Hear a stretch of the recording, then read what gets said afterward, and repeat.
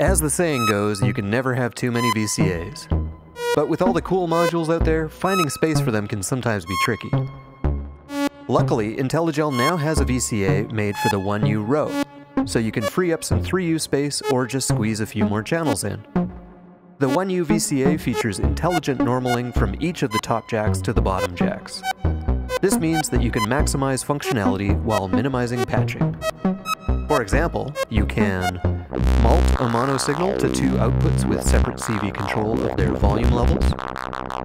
If nothing is connected to in B, it receives whatever is connected to in A. You can use one CV source to control the level of two separate inputs.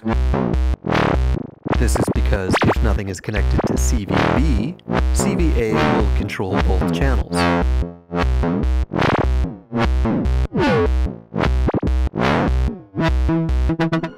You can mix two signals together.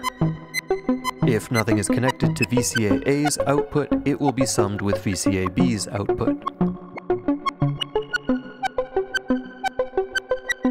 The LEDs indicate any present CV signal.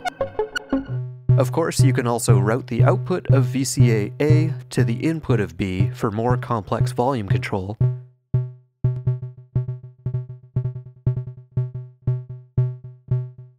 Or use the output of A to control the level of B.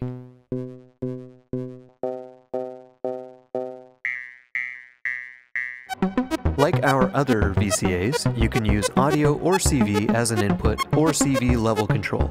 So you can do things like use an envelope to control the volume of an oscillator, use an envelope to shape the level of an LFO,